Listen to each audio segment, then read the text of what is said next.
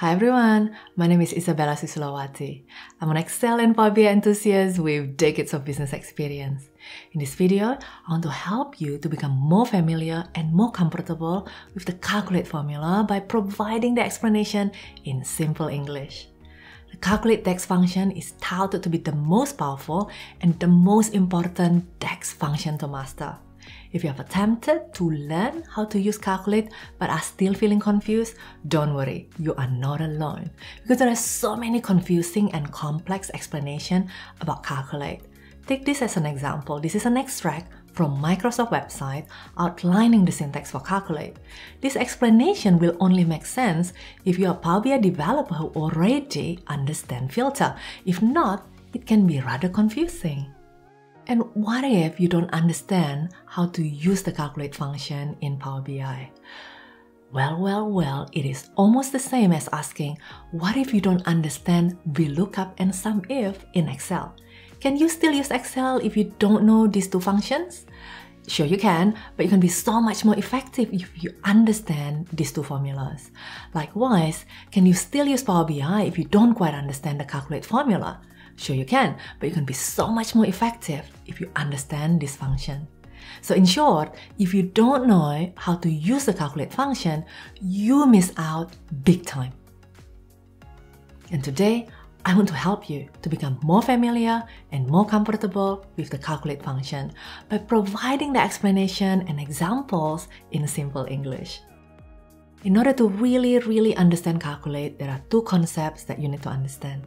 Concept number one calculate formula is very similar to SUMIF's formula in Excel. If you come from an Excel background, hopefully you have used SUMIF before. In fact, I personally believe that they are so similar that calculate formula should be named calculate ifs. What do I mean by that? This is the syntax of SUMIFs in simple English.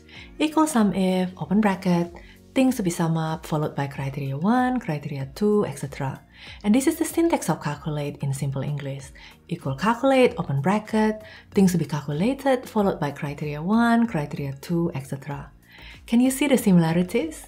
The one difference is that with Calculate, you have the options to provide an input of what type of calculation to be performed. For example, sum, min, max, average, etc. In other words, with one DAX formula calculate, it can perform what in Excel need to be performed by many different formulas such as SUMIFs, COUNTIF, average ifs, etc. Now that you have understood the first concept and can see how calculate formula is so similar to SUMIF, let's build on our knowledge and understanding of the calculate function in Power BI by moving on to the next important concept. Concept number two, the criteria included in the calculate calculation will override the filter context of the Power BI report.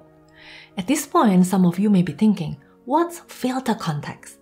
Filter context is the various filtering that happen within Power BI, which can be the result of row selection, column selection, report filters, page filters, visual filters, and slicer selections. Let me show you in a simple Power BI PNL report that will help us to understand the filter context within Power BI. Let me show you a simple Power BI PNL report that will help us to understand the filter context. This is the report page and this is the model. We have three dimension table and one actual tables. We have the value, which is our PNL, by cost center, by date, and by GL.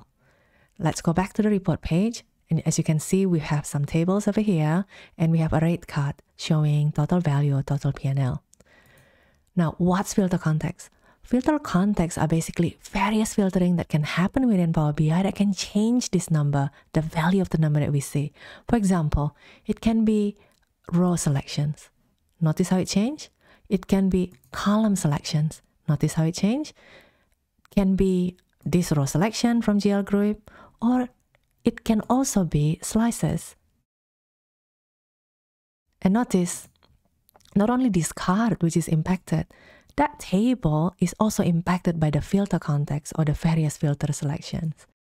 And not only filter selection can be impacted by everything that you see on this page, there are also other filters that may not be visible. For example, those on the right pane over here. On the filter pane, you can see different type of filter, filter on this page, filter on all pages. In other words, every single pages in this report are impacted by the filtering over here. For example, let me just show you. I can just select ancillary costs and all the pages in this report is now filtered to show only ancillary costs. And how do you know if your numbers are impacted by filter context that you can see?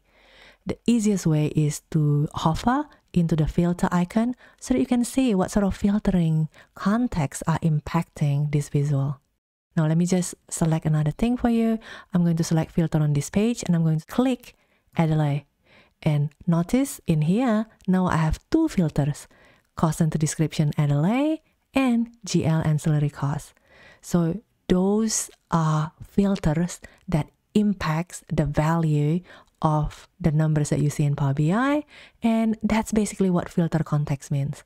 Filter context means whatever filtering that happens in this report will impact the numbers that you see.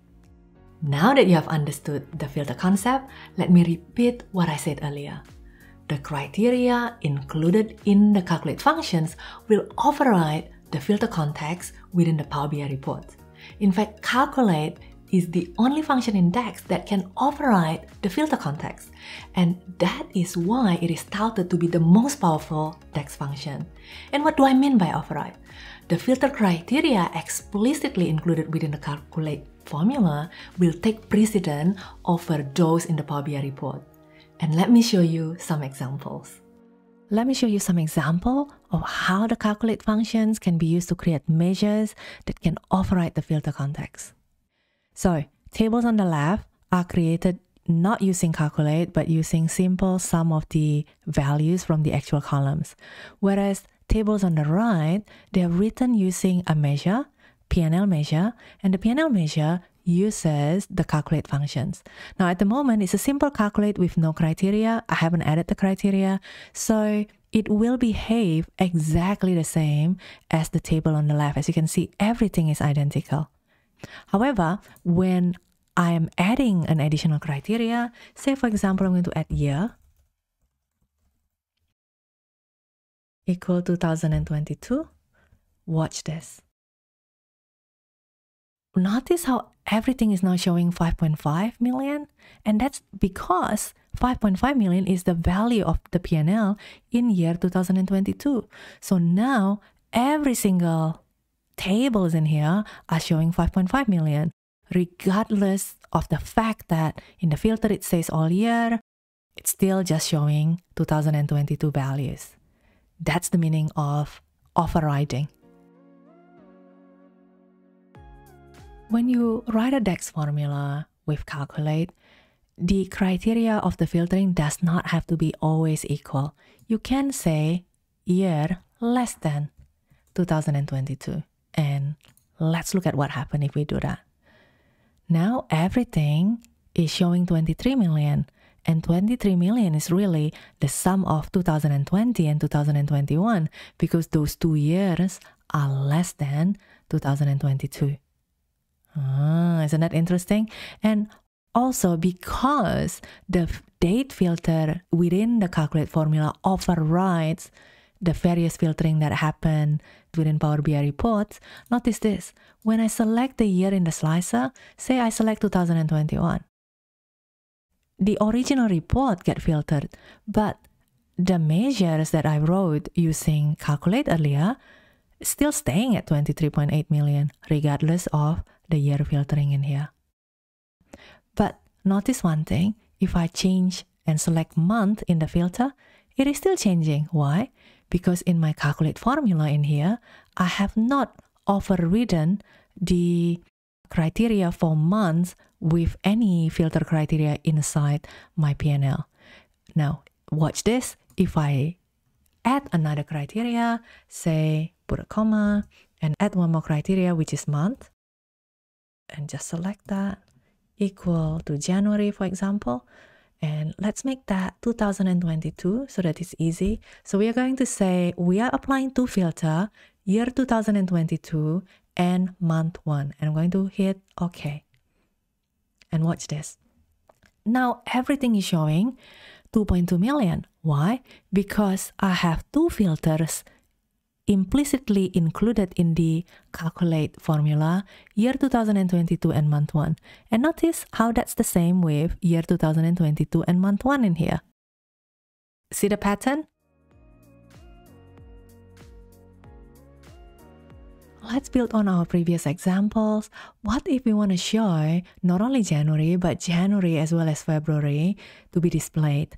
So what we can do is we can use the OR criteria. And this is how you write OR. Just use double pipe and just say month, select the last one, equal to, and hit tick. Now we have 3.7 million, which is the sum of 2.2 plus 1.5 million over there. And notice why they're all the same because this is the column context and the column context is overridden by the year. And notice the month as well. They are being overridden by this month context that has been explicitly included in the calculate formula now. This is why you are seeing 3.7 million in every single month. In here, I have expanded my DAX formula. I have added another criteria, which is cost center equal to Tasmania.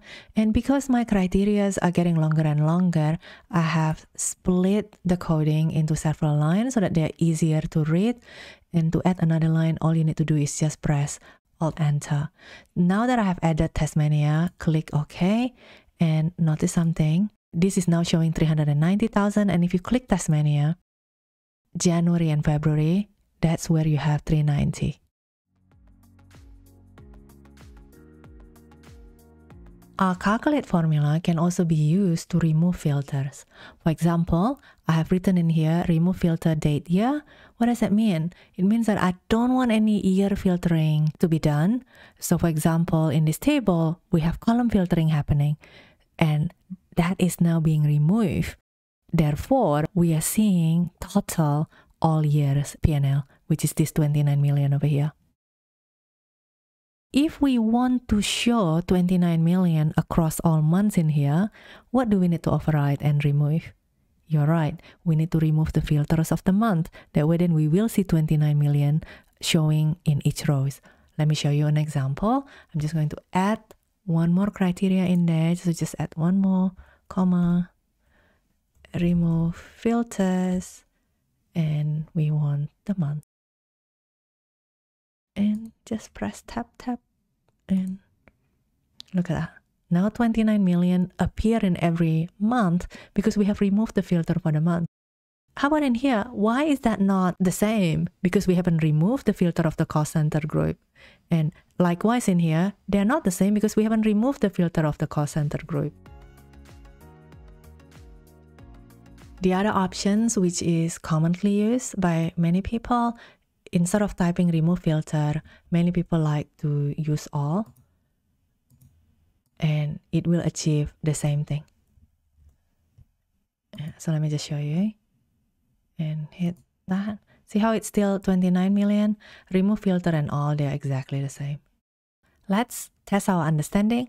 What if I want to show 29.4 million across all rows? How shall we modify our DAX? Very easy, just type comma, Alt Enter, all, and then select cost group, close the bracket, and done. Voila, 29.4 million. Very good.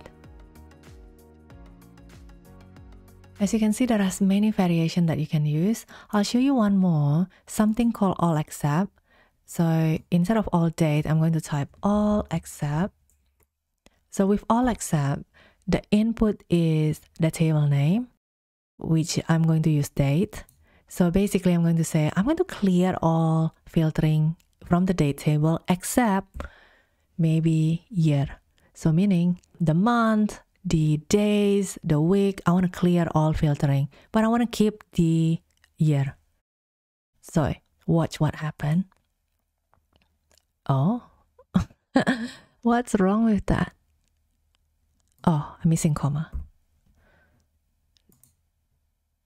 All right. As you can see in here, now we have different values by year because we are saying we don't want to clear the filtering for year. but we want to clear all other date filtering. So any date filtering months, week, everything else, including this month over here, now the values are the same, but the year are different.